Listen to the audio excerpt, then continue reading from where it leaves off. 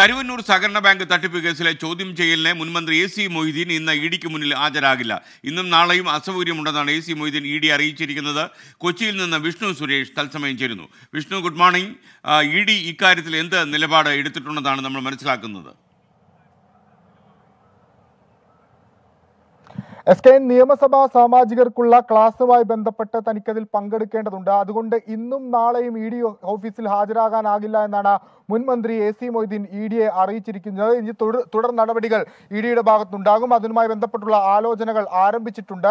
A C Moideen കാര്യങ്ങൾ അത്ര easy അല്ല എന്നുള്ളതാണ് ഈ ഘട്ടത്തിൽ മനസ്സിലാക്കുന്നത്. കാരണം കരുവന്നൂർ തട്ടിപ്പുമായി ബന്ധപ്പെട്ട് ഇ ഡി നടത്തിയ അന്വേഷണങ്ങളിലെല്ലാം ചെന്നെത്തുന്നത് അവസാന പേര് എ സി മൊയ്തീനിലേക്കാണ്. അതുകൊണ്ടാണ് അദ്ദേഹത്തെ ചോദ്യം ചെയ്യാൻ വിളിപ്പിച്ചത്.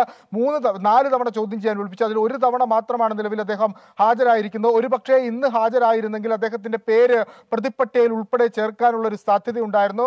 ആ ആശങ്ക പരിഗണിച്ചുകൊണ്ട് തന്നെ ആയിരിക്കാം ഇന്ന് ഹാജരാകേണ്ടതില്ല എന്നൊരു നിയമോപദേശം അദ്ദേഹത്തിന് ലഭിച്ചത്.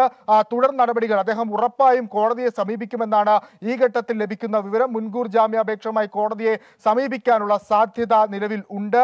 അദ്ദേഹത്തെ പ്രതി ചേർക്കുമെന്നുള്ളത് തന്നെയാണ് ഇ ഡി വൃത്തങ്ങളിൽ നിന്ന് ലഭിക്കുന്ന സൂചന. വീണ്ടും നോട്ടീസ് നൽകുമോ അതോ അറസ്റ്റിലേക്ക് കടക്കുമോ? അതാണ് ഇനി ഏറ്റവും പ്രധാനമായും അറിയാനുള്ളത്. ഈ രണ്ട് ഓപ്ഷൻ മാത്രമാണ് നിലവിലുള്ളത്. ഒന്നില്ലെങ്കിൽ ഒരിക്കൽ കൂടി നോട്ടീസ് നൽകുക. അതല്ല എങ്കിൽ എ സി മൊയ്തീന്റെ അറസ്റ്റിലേക്ക് കടക്കുക. പക്ഷേ അതിനു മുൻപ് കോടതിയെ സമീപിക്കാനുള്ള നീക്കത്തിലായിരിക്കും എ സി മൊയ്തീൻ ഉണ്ടാകുക. എന്തായാലും എ സി മൊയ്തീൻ ഇന്ന് ഇ ഡിക്ക് മുന്നിൽ ഹാജരാകില്ല എന്ന് ഇ ഡിയെ അറിയിച്ചു കഴിഞ്ഞു. നിയമസഭാ സഭാ സാമാജികർക്കുള്ള ക്ലാസ്സിൽ പങ്കെടുക്കണമെന്നാണ് നൽകിയിരിക്കുന്ന വിശദീകരണം. അതിനുശേഷം മറ്റൊരു ദിവസം ആവശ്യപ്പെട്ടിട്ടുണ്ട്.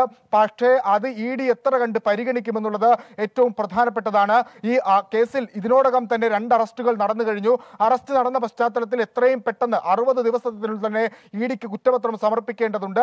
അതിന്റെ ഒരു വേഗത അവർക്കുണ്ട്. ആ പശ്ചാത്തലത്തിലാണ് ഇന്നലെ റെയ്ഡ് ഉൾപ്പെടെ നടന്നത്. അതുകൊണ്ട് ഇനിയും ഈ ചോദ്യം ചെയ്യൽ നീട്ടിക്കൊണ്ടുപോകാനുള്ള ഒരു സാധ്യത നിലവിലില്ല. ഒരു പക്ഷേ അറസ്റ്റിലേക്കോ പ്രതിചേർക്കൽ നടപടിയിലേക്കോ കടക്കാനാണ് നിലവിൽ സാധ്യത. S K.